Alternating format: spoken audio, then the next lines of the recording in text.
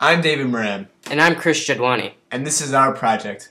In this video, we're going to be getting four water samples from various rivers and ponds, and then testing for dissolved oxygen concentration in each sample, using kits provided to us by the school.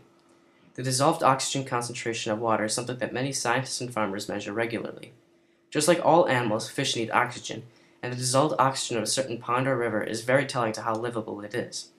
If the dissolved oxygen concentration is less than 4 milligrams a liter, it is not very fish friendly. There are many factors that affect the DO of a certain body of water.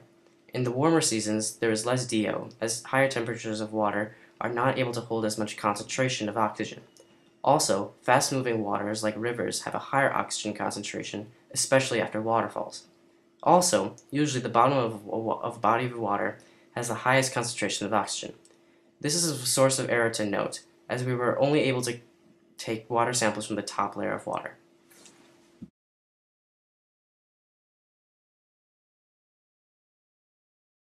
Hey man, what's up?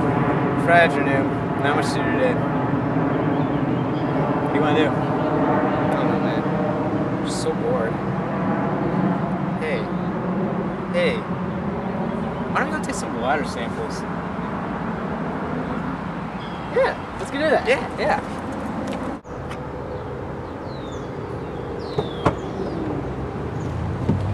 First stop, Graue Mill. And here we are at Graue Mill. We have some uh, geese here, uh, some, some ducks over there, and yeah, here's the river. This here is Graue Mill Waterfall. And since oxygen level concentrations are higher after waterfalls,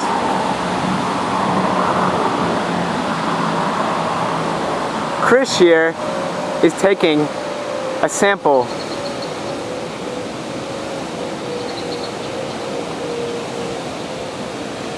and here is our water sample up close. There you have it. Here is our second sample taking. There's David, taking our second sample above the waterfall. This should contain less oxygen, as we hope. And here is the second sample. Excellent. All right, uh, Chris and I are here at Ruth Lake Country Club. This is the closest lake we found to us, so yeah, we're we're hoping we don't get caught or anything because this this is gonna kind of look weird, but yeah, All right, wish us luck. yeah. All right, let's try this quickly. Come on, yeah. Okay.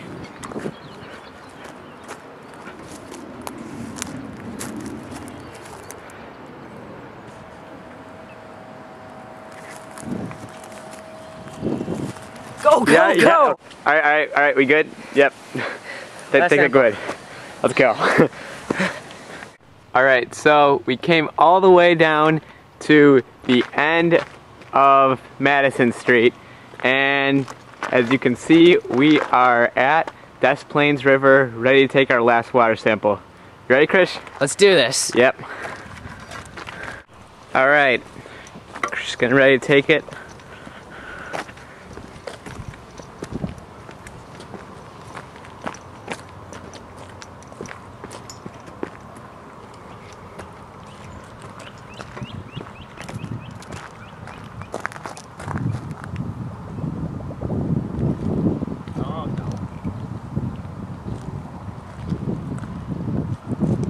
Filthy. And there you have it. Our last water sample. It is now time to test our samples. For time's sake, we are only going to show one sample being tested, our Ruth Lake sample. First, we fill up the testing container with our sample.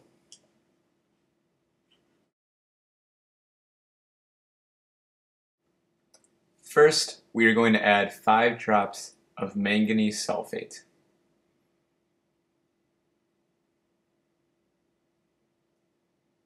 Next, we're going to add 5 drops of sodium alkali azide.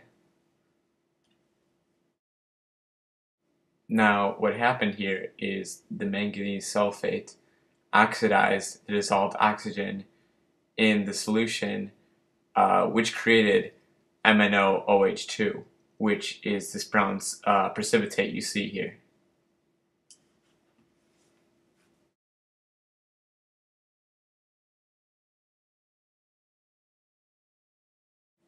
We now add 10 drops of sulfuric acid to our solution and the purpose of this is to once again make the solution aqueous to turn all the MnOOH2 back into manganese sulfate uh, which will then react with the iodide in the solution which will then form iodine. And now I mix up the solution.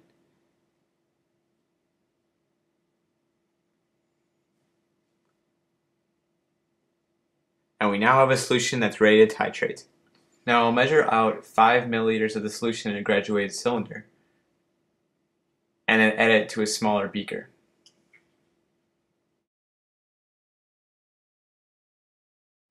Now we're going to add one drop of starch to the solution which will be our indicator.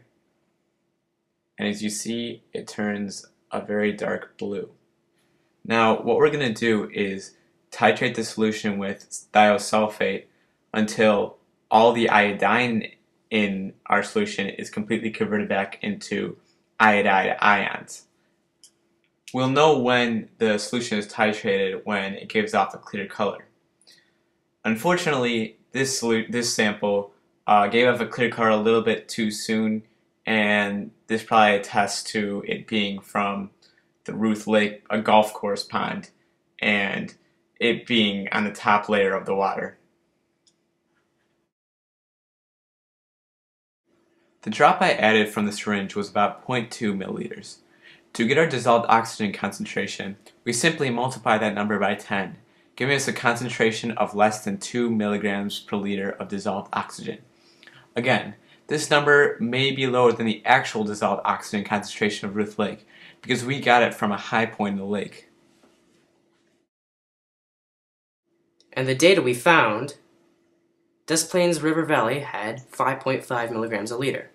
Ruth Lake had less than 2 milligrams a liter.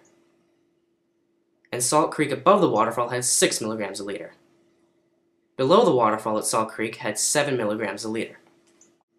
Thanks for watching. And have a nice day.